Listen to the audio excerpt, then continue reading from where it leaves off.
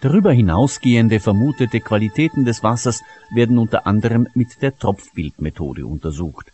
Hochwertiges Wasser soll dabei schönere Wirbel und Girlanden ausformen als minderwertiges.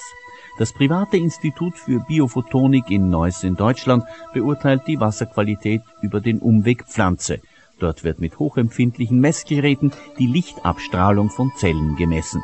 Gesunde Pflanzen können mehr Licht speichern als geschädigte, wie sich am Beispiel zweier Fichtennadeln darstellen lässt.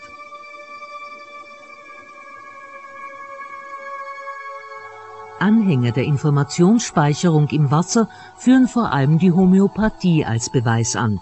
Dort werden zwar dieselben Ausgangsstoffe verwendet wie etwa in der klassischen Pflanzenheilkunde.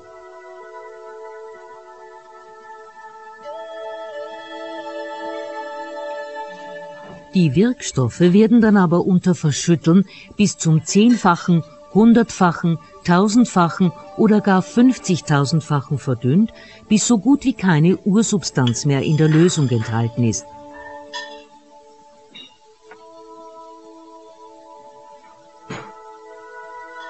Schließlich entstehen entweder Tropfen oder Globuli, kleine Zuckerkügelchen, die keinen Wirkstoff enthalten, sondern Informationen, die den Kranken gesund machen sollen.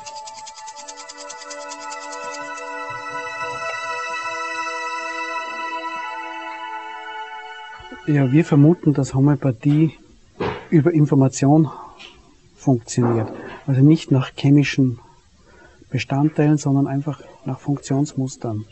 Und zwar stellen wir uns das so vor, dass im Wasser von diversen Pflanzen, Tieren oder auch Kristallwasser von Mineralien die Information gespeichert wird und die wird dann abgerufen, indem wir diese Mittel also homöopathisch aufbereiten, das heißt potenzieren oder dynamisieren. Das heißt, wir übertragen die Information dieses Wassers von der Pflanze zum Beispiel, das Zellwasser, auf das Arzneimittel. Und das wird stufenweise gemacht und es ist ganz wichtig, dass man das immer schrittweise macht, von 1 zu 10 zum Beispiel in einer Dezimalpotenz, 1 zu 100 in einer Zentdezimalpotenz oder 1 zu 50.000, also das ist schon fast unvorstellbar in einer LM-Potenz.